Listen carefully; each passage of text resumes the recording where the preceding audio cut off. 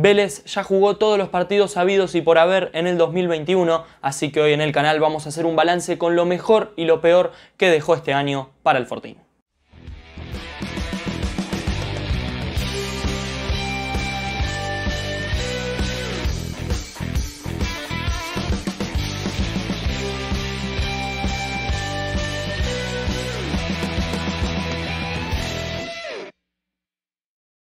Fortineros, fortineras, ¿cómo están? Les doy la bienvenida a un nuevo video en el canal para hablar de lo que fue este año para Vélez, de lo que fue este año que termina con derrota frente a Platense, un 2021 que para mí fue bueno, tirando a regular, que eh, no consigue títulos obviamente Vélez, pero que hizo una muy buena campaña tanto en el semestre de comienzo de 2021 como en este último semestre. La verdad que yo pienso que me deja con sabor a poco este último tramo del torneo porque Vélez no consiguió las victorias y los resultados que se esperaban para por lo menos pelear el campeonato. Pero vamos a comenzar con el video, pero antes quiero comentarles que estamos haciendo el último preguntas y respuestas fortineras del año, un video donde ustedes me consultan, me preguntan cosas de Vélez, del canal, de lo que quieran saber, de cualquier cosa me pueden preguntar, estamos armando ese video, así que de acá pueden irse a la pestaña de comunidad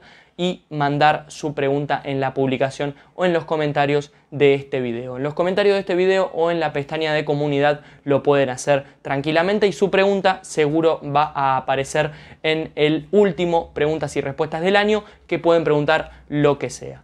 Así que también los invito obviamente a suscribirse, ya saben todos que estamos intentando llegar a los 2.000 suscriptores antes de que termine el año Así que suscríbanse, dejen su me gusta, activen la campanita y recomiéndenle este canal a otros fortineros que no estén suscritos. Vamos ahora sí con lo mejor y lo peor de este 2021 para Vélez. Recordemos, Vélez juega tres torneos, Copa Argentina, eh, cuatro torneos, Copa Argentina, Libertadores, Copa de la Liga Profesional y este torneo Liga de la Liga Profesional de Fútbol y eh, Vélez hace una muy buena campaña en la Copa de la Liga Profesional, en Copa Argentina se queda eliminado frente a Talleres, en Copa Libertadores se queda eliminado en octavos de final contra Barcelona de Ecuador. Y en este último torneo termina quinto.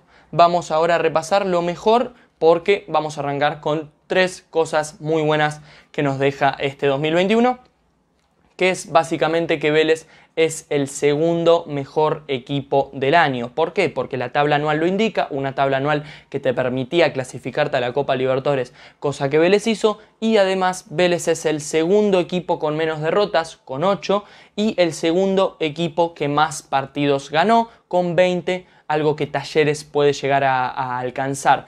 Eh, a día de la grabación de este video todavía no jugó la T, así que puede llegar a alcanzar esas 20 victorias, pero Vélez 20 victorias en este torneo, solo por adelante de Vélez está River, un River que, como ya saben muchos, está por encima del nivel de los equipos promedio de este campeonato y Vélez es el segundo mejor equipo del año contando los números y también contando, por ejemplo, declaraciones del ruso Zielinski, que dijo que River y Vélez son los, el técnico de estudiantes dijo que River y Vélez son los equipos que mejor juegan al fútbol en este campeonato argentino. Pasamos a otra cuestión que para mí es muy importante, que tiene que ver con eh, una posición que Vélez venía padeciendo muchísimo, que era el puesto de delantero centro, el puesto de número 9, y Vélez encontró en Juan Martín Lucero al goleador o al 9 que necesitaba, un 9 que haga goles. Eh, Juan Martín Lucero marcó 15 goles en este 2021 y 9 de ellos son en el último torneo, es decir, en este torneo reciente que fue el torneo largo que tuvo Vélez, también arrancando muy bien y marcando los dos goles eh, en la serie de la Copa Libertadores frente al Barcelona de Ecuador. Dos cabezazos muy buenos, uno en la ida y otro en la vuelta, que lamentablemente no sirvieron para que Vélez siga en el campeonato, pero sí podemos decir que Juan Martín Lucero a base de goles se ganó ya finalmente eh, una merecida renovación con Vélez y yo creo que el hincha le tiene muchísimo cariño a Lucero a partir de goles y a partir de buenas apariciones que ha tenido en partidos, como por ejemplo en el partido frente a Argentinos Juniors, donde entra y lo hace muy bien y permite que Prato marque el primer gol en su vuelta a Vélez. Entonces son cosas que terminan determinando que eh, Juan Martín Lucero siga siendo el delantero de Vélez. Caso contrario, Cristian Tarragona, de quien ya vamos a estar hablando. Pero también este último repaso que quería hacer de lo mejor que nos deja el año es la segunda clasificación consecutiva a la Copa Libertadores. A falta de varias fechas, Vélez se clasificó tranquilamente eh, y eso no ocurría desde 2013, cuando Vélez clasifica en el 2013, después juega en el 2014, entonces la última clasificación consecutiva había sido esa de 2013-2014. Vélez por suerte está clasificado, por suerte va a jugar nuevamente la Copa Libertadores y también es algo que nos volvemos a acostumbrar a ver a Vélez en el ámbito internacional. Arrancó con Copa Sudamericana, Libertadores, Libertadores y eso me parece muy positivo. Además, yo quiero destacar la manera en la que se clasifica a falta de varias fechas, siendo el segundo mejor equipo en la tabla anual. Eso me parece muy valioso porque no eh, está bueno, por ejemplo, la forma de clasificación de Colón, que Colón se clasifica ganando un campeonato y después eh, no hace un buen torneo. Me parece que esta manera de clasificar marca una línea y marca una constancia en el rendimiento de Vélez que eh, hace que esta clasificación sea más meritoria. ¿no? Colón está bien, sale campeón, pero después tiene una campaña muy mala eh, que hace que no, no, pueda clasificarse en cuanto a los puntos, sino que gracias a ese campeonato sí logró la clasificación. Pasamos ahora a lo peor, pasamos a la peor parte. Antes, no te olvides dejar tu me gusta y suscribirte al canal si todavía no estás suscrito. Nos faltan 70 personas para llegar a los 2000. Yo creo que 70 personas estarán viendo este video y espero que alguna de ellas no esté suscrita y toque suscribirse si le está gustando este canal y esta comunidad también en los comentarios porque tenemos una muy linda comunidad a la que podés sumarte. Eh, vamos con lo peor, que son las derrotas en los partidos clave, porque sí, estoy diciendo que Vélez jugó muy bien a lo largo del torneo, o no jugó muy bien, sino que sacó muchos puntos. Eso es un debate que se ha tenido entre la estadística y el juego y el rendimiento. Son dos cosas que van, eh, no van de la mano en este Vélez. Quizás algunos partidos lo jugó mal y ganó, y otros partidos lo jugó bien y no sumó. Entonces eh, los números y el rendimiento no están yendo de la mano pero eh, las derrotas en los partidos claves fueron algo muy importante en este Vélez porque terminan generando ese reclamo del hincha que eh, Vélez pierde por penales en la Copa de la Liga Profesional después de terminar puntero en la zona A, si no me equivoco. Eh, pierde por penales contra Racing, errando penales y se despide en octavos de la Libertadores frente a Barcelona de Ecuador. Además, a esto le sumamos, por ejemplo, la derrota en Copa Argentina frente a Talleres y nos damos cuenta de que Vélez todavía no termina de hacer ese clic en los partidos clave. Será por actitud, será por rendimiento, será por mala suerte, hay muchos factores, pero lo que te puedo decir es que Vélez no gana partidos clave que terminan determinando eh, cómo va a ser el año, ¿no? Porque si Vélez alcanzaba las semifinales o la final de la Copa de la Liga Profesional era una cosa, pero quedarse en cuartos fue una lástima. Lo mismo con la Copa Libertadores. Tenía el pase a cuartos casi asegurado con el gol de visitante y eh, en una llave que me parecía accesible, ¿no? Barcelona de Ecuador no era ni mucho menos el mejor equipo de la Copa Libertadores, pero lamentablemente eh, algunos fallos dirigenciales, eso hay que adjudicarlo, y algunos fallos en el planteo y en el juego terminan dejando a Vélez afuera de la Copa Libertadores.